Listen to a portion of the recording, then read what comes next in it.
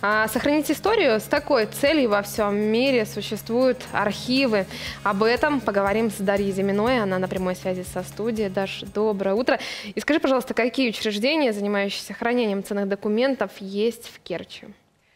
Коллеги, доброе утро. Мы с вами сегодня неспроста говорим о сохранности информации и истории, ведь э, сегодня, 10 марта, в России чтут работников архивов. Сейчас мы находимся в муниципальном архиве города Керчи, который уже 95 лет занимается сбором, учетом и хранением документов. О работе учреждения нам сегодня расскажет Екатерина Плужникова, директор муниципального казенного учреждения «Муниципальный архив города Керчи». Екатерина Сергеевна, доброе утро. Доброе утро. Расскажите, пожалуйста, за вот почти век, получается, существует архив, и сколько документов у вас здесь в фондах хранится? На сегодняшний день в муниципальном архиве хранится 80 тысяч документов. Это получается с какого периода именно, с какого года они числятся? 44-го. Самый ранний период у нас 44 год. То есть я так понимаю, что именно э, те документы, которые были утеряны во время Великой Отечественной войны, их уже никак не восстановить, их здесь нет? На сегодняшний день нет, мы не можем это все восстановить то, что есть, то есть. Угу. Мы храним это. Хорошо. 80 тысяч документов. Какие это документы? Расскажите подробнее. Это документы э, предприятий города, в основном личный состав. Э, самых крупных у нас э, КМК, СРЗ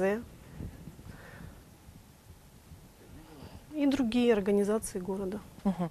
А вот самое интересное, что у вас здесь можно обнаружить? Самое интересное, это документы КМК 44 года. Берешь их в руки, ощущаешь вот ту древность, вот ту ценность, то, что очень хочется беречь. Угу. Ну вот э, в таком состоянии бумаги сколько могут прожить? То есть за ними нужен какой-то особый уход, я так понимаю? Температурно-влажностный режим, конечно, это обеспыливание обязательно. И есть документы, которые на сегодняшний день э, проходят оцифровку, самые ценные, чтобы их уже не касаться. Угу. Расскажите, может быть, у вас за время работы появилось какое-то новое оборудование здесь? Да, у нас проходит модернизация муниципального архива, приобретен э, сканер, планетарный сканер. Самые ценные документы уже, начина... уже оцифровываем, уже работаем с ними. Угу. А сколько уже удалось оцифровать вот за это время работы сканера? Я понимаю, что немного, порядка 300 дел уже оцифровали. Расскажите, пожалуйста, немного подробнее о работе архивиста, насколько она сложна и интересна. Эта работа очень интересна, но требует внимания, усидчивости. И, конечно же, э, остаются только талантливые люди нужно специальное образование, да? Обязательно. Почти все сотрудники на сегодняшний день, это порядка 90% наших сотрудников, прошли обучение по архивному направлению. Угу.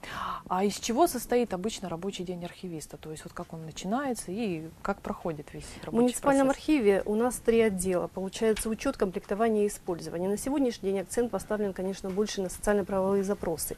С утра они получают от начальника отделов запросы по направлению пенсионного фонда, поднимаются в хранилище и начинают работать с документами. То есть вот, э, вот здесь целый день люди находятся, да, я так понимаю, что вот эти коробки достают, как-то рассматривают, э, что-то фиксируют. Находиться целый день здесь нереально.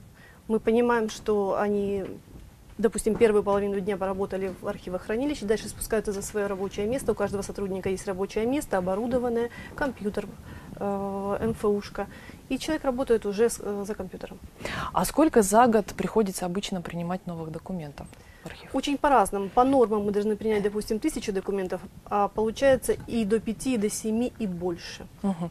Екатерина Сергеевна, спасибо вам большое за то, что мы сегодня побывали у вас в гостях. Было очень интересно. Коллеги, я напоминаю, что сегодня мы беседовали о работе архива с директором муниципального казенного учреждения муниципального архива города Керчи Екатериной Плужниковой. Желаю вам хорошего настроения и заканчиваю на этом. Спасибо большое, Даша. Хорошего вам тоже настроения и только добрых новостей. Напоминаем, с нами на связи была Керчи, корреспондент телерадиокомпании «Крым» Дарья Зимина.